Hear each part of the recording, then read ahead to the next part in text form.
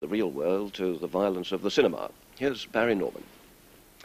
Sam Peckinpah is the man at the very centre of the endless debate about the nature and effect of violence in the cinema. He is, to be sure, one of the very few film directors with a strong claim to be called an artist.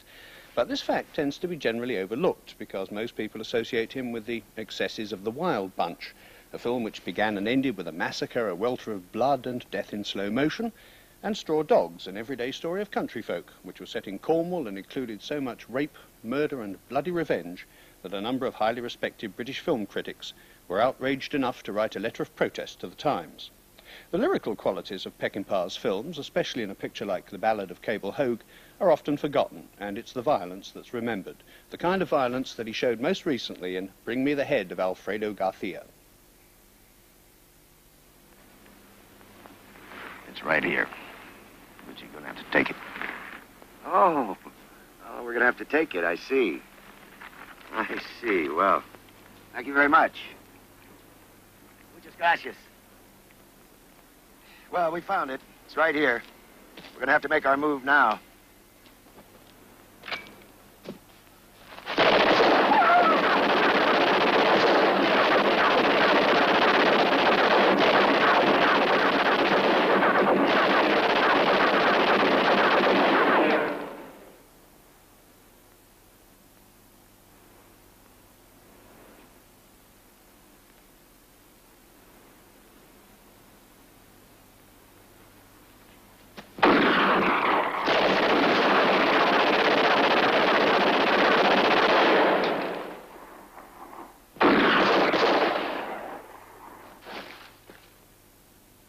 okay, Benny? Yeah. Who the hell are they?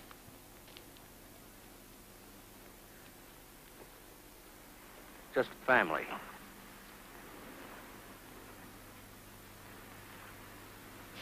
Mr. Peckinpah, let's uh, start with one of the more controversial areas surrounding you. Uh, one it... of the most controversial areas surrounding me is the fact that uh, there are three people in the world who call me Mr. Peckinpah.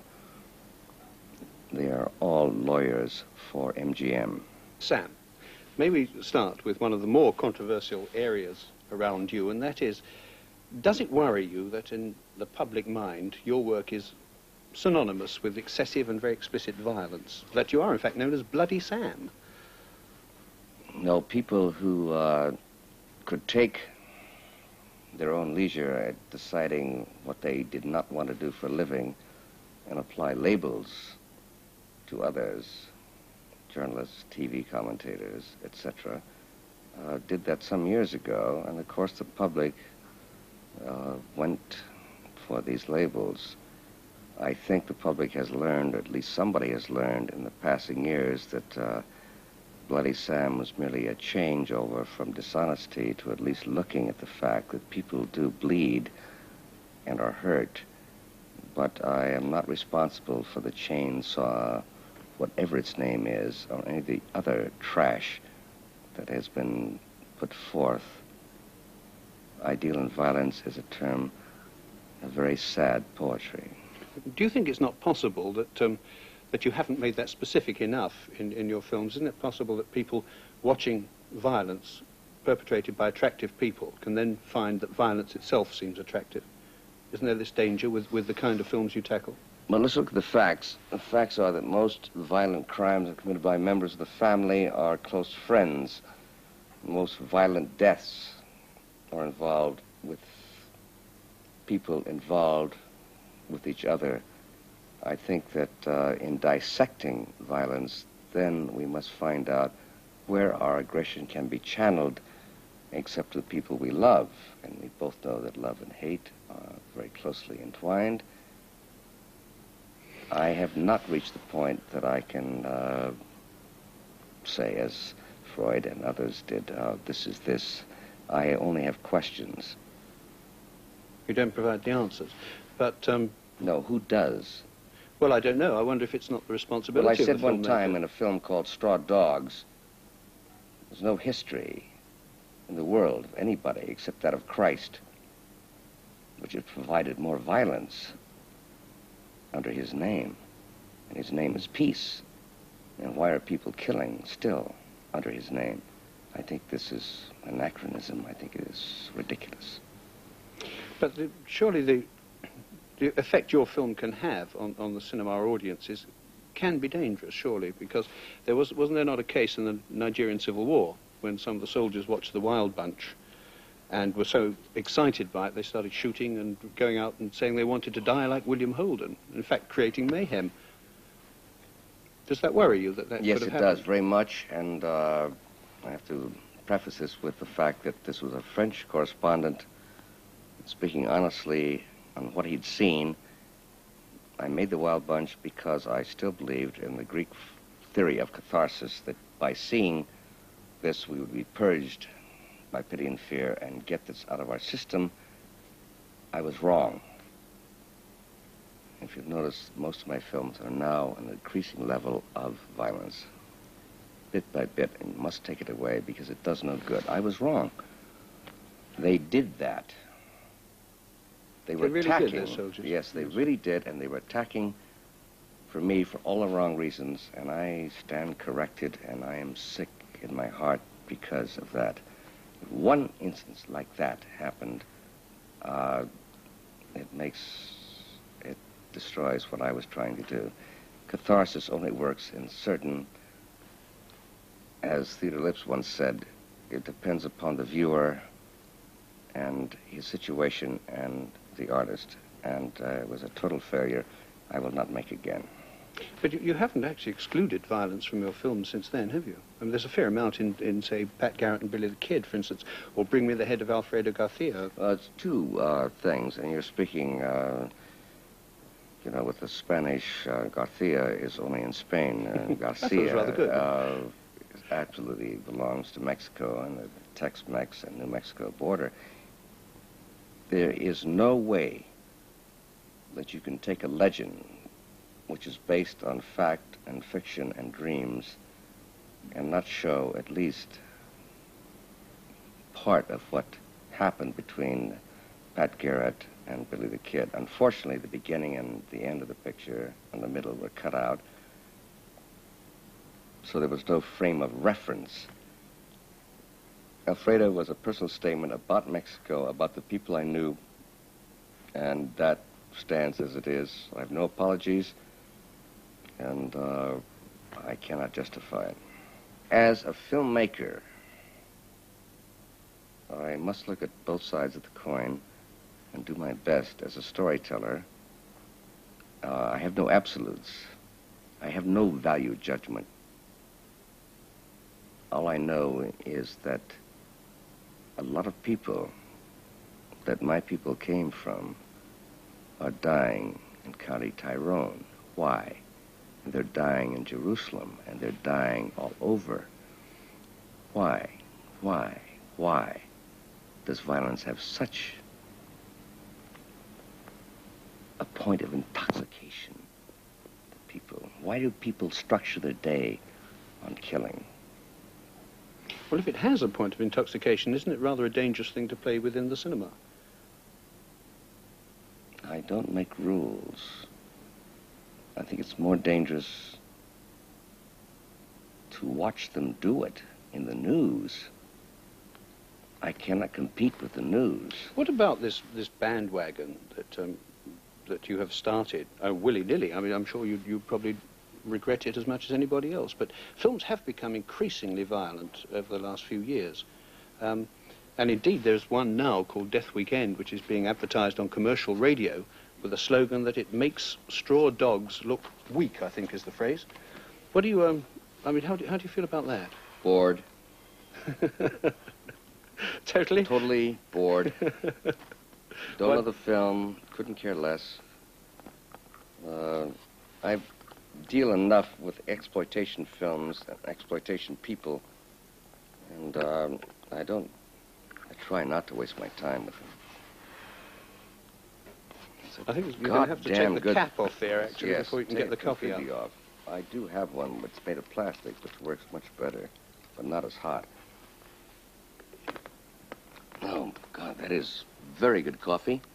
It has been said in your films that there's no diagnosis or cure offered in your films, that you merely take what you regard as society's ills and show them as they are. Is it not part of a, a film director's responsibility to go further than that? Well, Marlon Brando once said in uh, Kazan picture by John Steinbeck, I'm not the conscience of the world. And Viva Zapata. Uh, it is, but right now I'm not smart enough. I don't know enough beside the fact that I'm dissecting a piece of cancer that we can look at and put in for to make a biopsy from. I need some doctors to help me. Uh, I don't know. All I know is I'm making cuts and opening a wound so it can drain, the sun can get to it, or you can take it out and put it under a microscope and see whether it's cancerous or not. Obviously, it is the cancer of our world, our time, of all our times. And I think somebody much more adequate and better trained than I am can move away from that and to make a prognosis of our sickness. But I detect, obviously, a note of disillusionment in you, and, and I think you've certainly been disillusioned about some of the some of the film companies you, have had to no, work I've for. been disillusioned uh, basically by advertising in but quotes. You've, you've had trouble with more than just the advertising. I mean, you've had trouble trouble with nearly all the big studios, haven't you? No, only one thing: fools, inadequacy, stupidity. But it seems to have happened to you rather more than to most people. I mean, you, you had trouble with Major Dundee when they, No, but I they took up. it away and edited it. I speak. They didn't. One man did. And he told me on the last day of shooting he'd destroy the film, everything that Heston and Mr. Harris and myself wanted to put in. He would take it out. And he did it. And he took two years in doing it. No, that's just a disgraceful form of, of people who should not be involved in making pictures. Well, in any case, yes, I was blackballed. I was put down because I talked about people who were dishonest, who cheated, who lied, who stole. And I was blackballed, and, uh, but through that, I came back, uh, burnt thinner, and a lot of other people came back a little stronger. And, uh, but the same thing, the same pattern goes once again. Do you not feel there that there, there might be some element of, of almost of self-destruction, of masochism um, in everything that's happened to you? Are, are you, as, as somebody once described you, playing the role of the last angry man holding out? Uh, Mr. Uh, Muni playing that. No, I don't think so. I don't have time. Uh, but I do believe, because of my brother and because of my father, my grandfather, I do believe in justice, in a man's word. And we must have some form of law, and so when it's broken, I have a tendency to stand up and be counted and fight. What about this um, this new film you're making now? That seems to be a new departure for you. It's a it's a war film called The Cross of Iron. Uh, how is it going to be different from other war films? I have no idea. Well, tell us something about it. What what what kind of what what is the basic um, idea of the story? It's a story of a German retreat based on a book, The Cross of Iron, by Willi Heinrich. And uh, basically, I felt that it was a story of every common soldier. Presumably, be, being a war film, it's going to have at least its its share of, of violence. But is it going to be the kind of violence that people, rightly or wrongly, associate with Sam Peckinpah movies? Though actually it does. I have I have Deanna Durbin coming in with Shirley Temple as German soldiers, and they do a little number and uh, good German war songs. Uh, it's very exciting. That doesn't Uh, sound like violence. That's more like sadism. No, no, no, no, it's not. It's only if you watch it. It's it. Uh, it's a good. It's a good film. Cross of Iron, which Peckinpah made in Yugoslavia and is now dubbing here at Elstree, is set on the German Eastern Front in 1943. The cast in this story of the disintegration of the German Reich is headed by Maximilian Schell, James Coburn, and James Mason. It's due for release next February. Нам хватит боевых еще на полтора часа. Дым застилает всю местность, не видно ничего, товарищ капитан.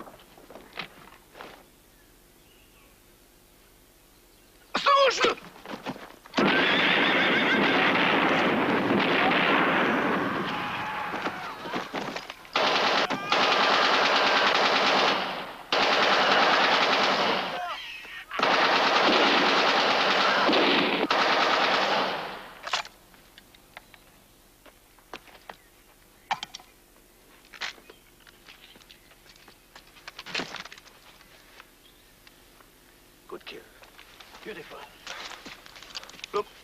New weapon. Run for yourself. Some ammunition. Your hat. Look. Look at that. Nothing we haven't seen before. Steiner. Look what I found running around in the back. Little Russian fledgling.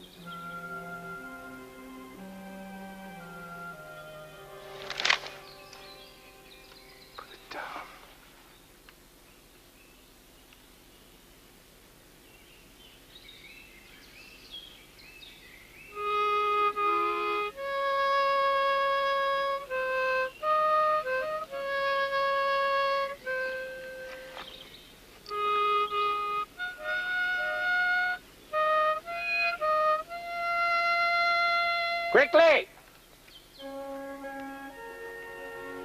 We'll go. See if you can get Meyer. Tell him we'll need transportation from checkpoint seven. Right. I think you've said that uh, if anybody after seeing this film is still for war, it's entirely their own fault. So it, there are, it's going to be a shocker in, in that sense? No, no. We're always going to be for war. Any human being.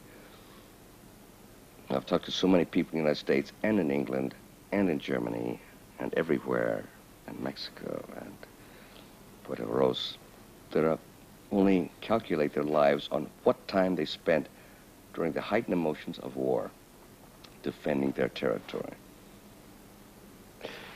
Is How many people that you can talk to and you tell me that relate to the Battle of Britain as their finest hour? We don't true. know how to, to cope with peace unless Liverpool is going to take on Arsenal again and then we become into the, the Roman games. Well, that can be a war too, a football It's match. beautiful, but it is a war. But it is a form of aggression that we can, you know, sublimate. But why don't we have wars in five acres between countries where they we can all watch? and the people, because there are people who really want to make war and be soldiers and be tested and die, fine. Let's do that. But let's not kill any more kids and drop bombs and say this is for God, for Jesus. That's a bunch of shit. Going back to, to The Cross of Iron, did you have any particular problems making that film? No, there are absolutely no problems. Sounds incredible. No, it's Cross of Iron was the finest, the best organized. It was impeccable.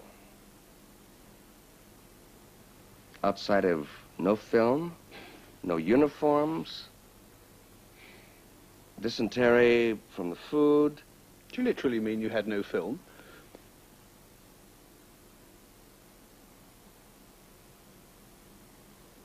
I, there were uh, possibly a, a, a minor mistake or two. I uh, have to check my records and my lawyer's files on that. I see. Yes. It doesn't sound as if it was an entirely happy business making it. But, it's, uh, it's been a delight for all of us. We have three suicides, four nervous breakdowns, and uh, but everybody's feeling rather well about it. Now, I enjoyed making the film thoroughly. Thoroughly. um, where do you go from here, though? What, what, what do you next? Do you do next? Well, I'm, I'm thinking very seriously about that. I think that I should go to either a psychiatrist or uh, a gynecologist who might recommend me to some of his patients. Uh, I'm going to do Convoy. That, I believe, is with British money, isn't it? Yes, But filmed in America. correct. And uh, a story of what? It's based on the song, the fine script. It looks like a great cast, which I don't want to discuss right now. But I'm very happy and looking forward to it. I think it's going to make uh, I think the people involved in it are very high on it. So am I. What about your more indeterminate future? How do you how do you see your career progressing from now on? Are you going to make more movies? Do you want yes, to make more movies? yes, I do. I have five left in me. I think. Do you know I what love they are? working. Are, are they? Well, I would like to work with a man who understands the human predicament much better than I can. My father once said, always surround yourself with people who know more. So I have Mr. Sture Dahlström is here now, and we're working on... There's the Swedish novelist. We're working on, yes, uh, on a film I think can possibly be my best. I have the Cousins film to do and a Max Evans film to do, and uh, two others. Do, do you also still take the, the, the rather humble view you once expressed that uh, when you said, I'm a good whore, I go where I'm kicked?